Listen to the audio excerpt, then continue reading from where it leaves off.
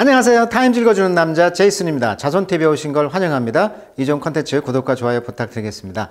오늘은요, 그 위기 리포트에 한번 다뤘었던 것 같은데, 어, 틱톡에 대한 이야기 해보도록 하겠습니다. 어, 지금 제목이 이렇게 나와 있죠. European Commission, 유럽 의회에서, 위원회에서 order, staff, staff들로 하여금 to remove TikTok from work device. 그러니까 그 직장에서 그 일하는 그 어떤 컴퓨터라든가 그런 device에서 퇴출을 시키겠다는 거죠. 리무브. 그렇게 staff들에게 지시를 했다는 거예요, 지금. 그래서 유럽에서도 지금 틱톡을 쉽게 말하면 공직에 있는 그 공무원들의 어떤 그 어떤 work device, 그러니까 핸드폰이 됐든 어떤 컴퓨터에서 틱톡을 추방하게 명령을 했다. 이런 이야기가 되겠어요. 아, 지금 어떤 상황이냐면요. 지금 뉴스에서 이제 캡처해 왔는데 대통령, 미국 대통령의 틱톡 금지 권한을 이제 법안 하원 외교위원회에서 통과되었다. 그래서 지금 사이버 공격에 악용될 수 있는 이 사이버 보안 문제가 아니라 심각하다는 거죠. 이 보안 문제. 그 미국과 중국이 어떤 좀 사이가 안 좋다 보니까 패권 전쟁 가운데 이제 틱톡이 이제 미운 털이 박힌 거죠. 그래서 사이버 보안 위험 및 행위로부터 보호하는 목적을 가지고 금지했다는 것이고 아, 그래서 관계자들은 오늘 15일까지 업무 시 사용하는 모든 기기, 그러니까 공직에 있는 분에 한해서 모든 기기에서 틱톡 앱을 삭제해야 한다라고 2023년 2월 23일 EU 집행위원회 정례 브리핑 자료를 한번 캡처해 왔어요. 자, 틱톡을 쓰지 마, 삭제해라. 미국에 이어 유럽도 나선 이유는 이렇게 나와 있는데 아까도 말했듯이 데이터 보호, 사이버 보안을 위해서 그래서 직원들에게 휴대전화와 사무실에서 사용하는 전자기기에서 틱톡 앱을 제거하도록 지시했다라고 방금 그 영국 파이낸셜 타임즈 내용을 캡처해 왔죠. 자, 그 기사입니다, 지금. 자, 브리튼 기사인데요. 그래서 the clock tick on TikTok over security concern. 그래서 security concern, 보안의 염려, 걱정에 대해서 틱톡에 대해서 지금 시계가 tick tick on, 똑딱똑딱 하고 있다. 그러니까 시계는 바로 이 틱톡의 금지, 보안 그런 걱정에 의해서 시간이 가고 있다. 과연 어떤 결정을 내릴 것인지 이런 이야기죠. 자, 여기 보시면 이 인사가 있어요. 지금 어, 슈지추라고 하는 이분인데 83년생입니다. 지금 틱톡 CEO가 아니고 이제 CFO라고 하는데 어, Chief Financial Officer다 해가지고 이제 CEO는 이제 Executive 그러니까 최고 경영자라고 한다면 CFO는 이제 Financial Officer예요. 그러니까 최고 재무 관리자가 되겠습니다. 이 CFO인 어, 이분이 어, 이제 의회에 나가서 이제 설명을 했죠. 우리는 그렇게 하지 않는다. 어, 그렇다면 왜 이분을 쓸 수밖에 없었을까 보면은 지금 40세 굉장히 젊으시죠. 2021년부터 틱톡의 이제 CEO, CFO 역할을 하고 있는데 어, 겉모습은 중국 사람이 아닌 것처럼 보이죠. 싱가포르 사람입니다. 싱가포르. 싱가포르라는 것은 어떻게 보면 화교들이 많잖아요. 그러니까 중국의 어, 힘이 힘 중국계가 좀 섞여 있다는 것이고 하버드 대학을 나왔고요. 대만계 미국인과 아, 와이프가 결혼했고 그다음에 이제 경, 금융 경험도 있어요. 골드만삭스에서 2년을 근무했고 또 중국 회사 샤오미에서 2년간 CFO를 했다는 거예요. 그러니까 이분이 지금 틱톡의 CEO인데 아, 이분의 이제 이분이 이제 슈지추라는 분이 나, 나가서 어, 했다는 것입니다. 그러면 왜 이분이 합당한 인재냐? 아, 물론 전에 이제 그 틱톡에 CEO가 있었겠죠. 근데 미국의 이제 회사의 이제 CEO인데 이 사람이 이제 친중국적으로 보이죠. 어쩌면 싱가포르 화교 이런 느낌이지만 그러면서 또 친미국적이죠. 왜? 골드만삭스에서 2년을 근무했잖아요. 그리고 월스트리트 물도 좀 먹었죠. 그러면서 이제 공산당의 입장도 배려할 수 있는 그런 탁월한 리더로서 CEO이기 때문에 아, 중국의 어떤 틱톡의 이제 CEO를 미국인으로 이제 이분을 앉힌 거죠. 어떻게 보면. 그래서 이분이 이제 의회에 나가서 설명을 하는 그런 장면도 나오죠.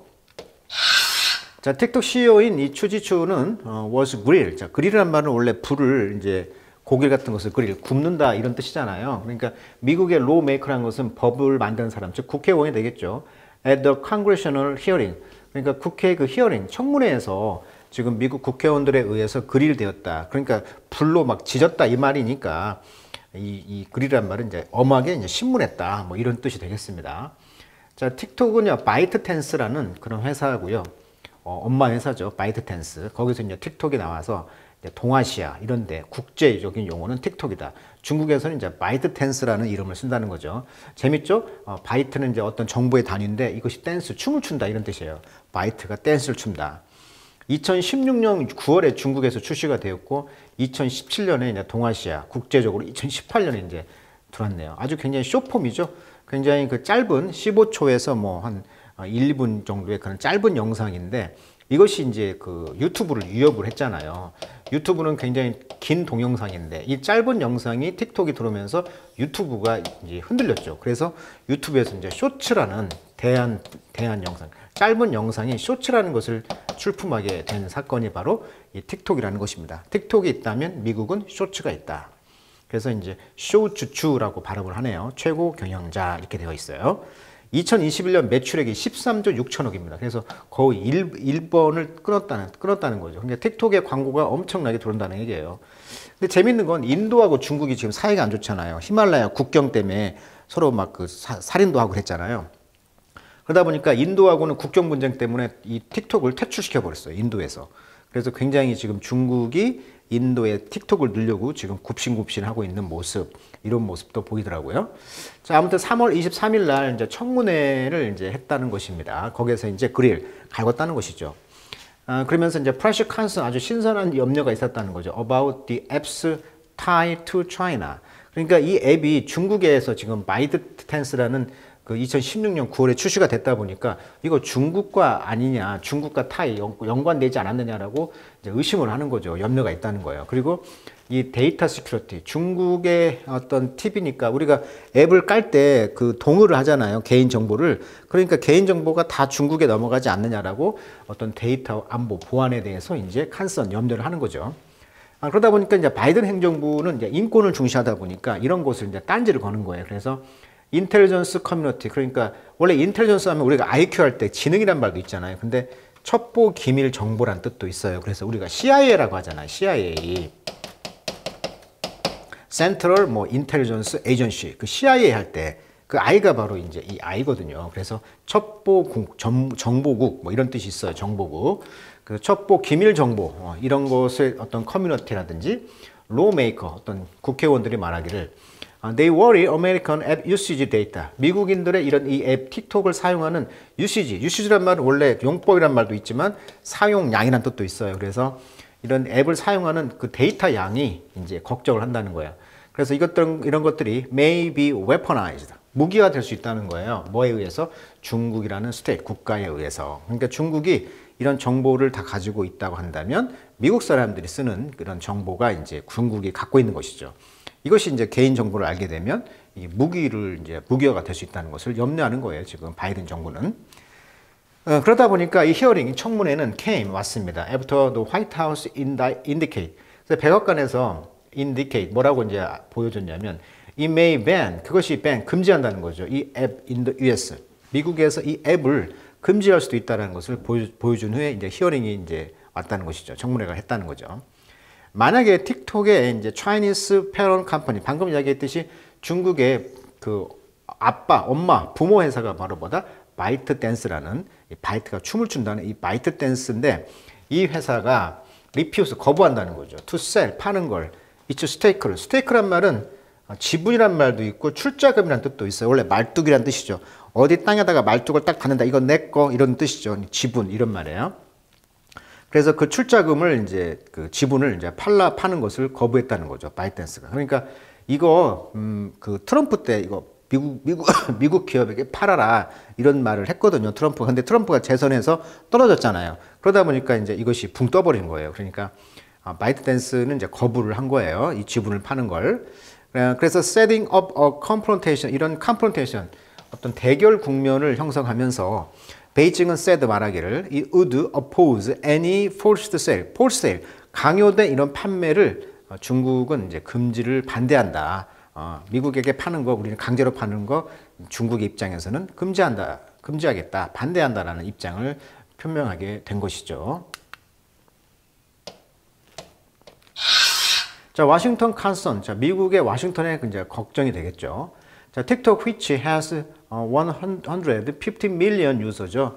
그래서 지금 1억 5천만 명의 유저가 있는데 미국에 어, 이 사용자들이 이머지드 등장해 왔습니다. 무엇으로서 one of the most contentious 어, element죠. contentious 하면 content가 어떤 다투다 이런 뜻이거든요. 그러니까 분쟁에 이런 뜻이 되겠어요. 분쟁의 그런 분쟁의 엘러먼 요소가 있다는 거죠. International deepening rivalry with China. 중국과의 그런 깊은 국가의 깊은 라이벌 관계, 그런 분쟁, 패권 경쟁 이런 거에 있어서의 분쟁적인 요소가 아, 있, 다는 거예요. 이것 중에 하나로서 이제 부상했다는 거죠. 틱톡이.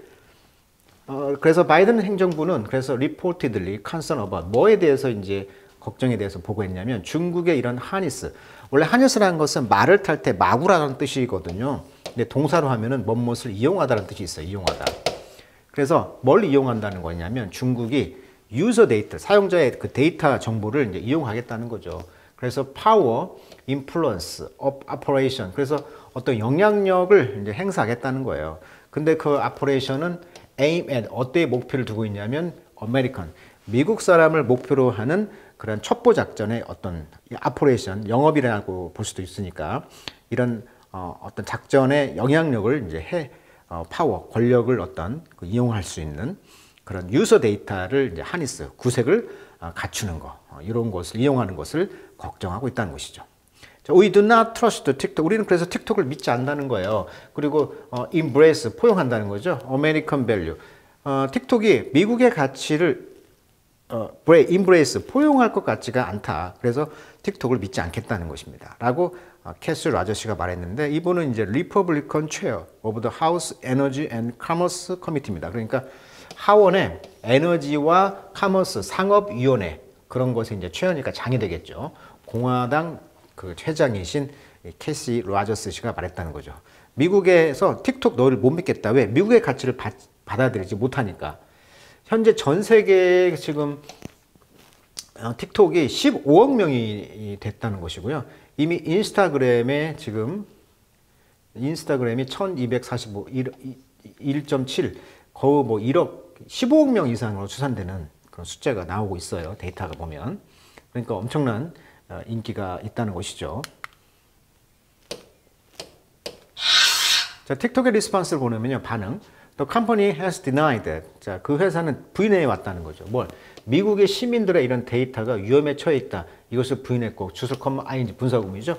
자, sensitive user data 이렇게 민감한 사용자 정보는 be kept on US soil. 미국 땅, 미국 땅 안에서 가, 가, 유지가 되고 있고 그 the data cannot be accessed. 그리고 그 데이터는 접근할 수가 없다는 거예요. 베이징, 중국으로부터. 이제 중국과 아무 관계가 없다. 미국 땅에 있지 않느냐, 서버가. 그리고 또 company is subject to US audit. 미국의 이제 오디트란 말은 회계감사. 그리고 니들 미국이 우리 회계감사 로 이제 subject 하면 뭐 먼저 지배를 받는 회계 감사의 지배를 받지 않느냐 이렇게 말했다는 거예요. 자, be subject 하면 be subject under 아래 있다는 것이니까 그 지배를 받다 이런 뜻도 있고 뭐뭐을 받을 필요가 있는 준수해야 하는 이런 뜻이에요. 그러니까 미국의 audit 회계 감사를 우리가 준수한다는 것이죠. 그렇지만 those effort 그러한 노력들은 have done little 어, 아무것도 할 수가 없다는 거죠. To dispel Washington worry 그러니까 미 와싱턴의 걱정을 해소하는 거죠. 몰아내다, 물리치다, 해소하는 것을 것에 대해서 할 수 있는 게 없다는 거예요. 그래서 call for 요구한다는 거죠. ban 금지를 그 금지를 요구하는 것들이 지금 growing 성장하고 있다. 그러니까 어, 틱톡을 금지하려는 노력들이 있다. 자, real 현실은 어떠냐? apprehension 염려가 있다는 것입니다. 뭐에 대해서? 틱톡에 대한 염려들이 지금 fuel 불을 지피고 있습니다. 중국의 법에 의해서. 그럼 중국의 법은 뭐냐? Which oblige any company or citizen to add state intelligence. 자, oblige는 대표적인 오형식 동사잖아요. 목적, 목적보 이렇게 되겠죠. 그러면 이제 목적, 목적보니까 주술관계. 그러니까 어떤 회사라든지 citizen, 그 시민들이 add, 도와줘야 한다는 거예요. 누구를? state intelligence를. 국가의 정보국에. 그러니까 중국 법에 써 있나 봅니다. 어, 떤 회사든지 중국 그 정보국에다가 어, oblige, 종속이 돼야 한다는 거죠. 의무가 있다는 거예요. 정보를 줄. 이런 느낌이라다 보니까 중국 법에 틱톡도 이제 걸리지 않느냐. 그러니까 정보를 다 중국 당국에 줘야 되지 않느냐. 이렇게 주장, 주장하는 거예요. 그게 이제 Chinese law라는 것이죠. 자, still 여전히 some observer, 어떤 그 observer, 관찰자들은 say 말하기를 the biggest risk, 최대의 위협이죠. to American privacy. 이게 중, 미국 사람의 이런 사생활의 가장 큰 위협은 바로 중국이 아니라 but a system, 이런 시스템이라는 거죠. 중국 법에 있는 시스템. in which, 그 시스템 안에서 어떤 tech company 회사도 어, 첨단 회사도 어, harvest user data, 유저의 데이터를 수확할 수가 있다는 거예요. 수집할 수가 있다는 거예요. 반면 Congress 근데 의회는 그래서 has been up in arms 수거입니다. be up up in arms 하면 arms가 s가 붙으면 팔 무기란 뜻이에요. 그래서 무기 상태에 있다 이 말은 뭐뭇에 대해서 맹렬히 반대하다 이런 뜻이에요. 즉 무기로 이제 싸우고 있다는 것이니까. 의회는 여전히 틱톡에 대해서 지금 강력히 반대해 하고 있고 또 fail to pass 그래서 심지어는 실패했다는 거예요. 패스하는 걸그 통과시키는 것을 가장 베이직한 comprehension comprehensive privacy legislation 이게 하나 덩어리입니다. 우리가 요즘 많이 쓰는 말이죠. 국회에서 그 뭐, 죠 그 가장 기본적인 포괄적인 사생활 법이라고 하죠. 우리가 뭐 포괄적 포괄적인 어떤 보호법이라고 말을 하는데 일종의 이런 것을 이제 패스하는 것조차도 실패했다는 거죠. 포괄적인 사생활 금지법 이런 거.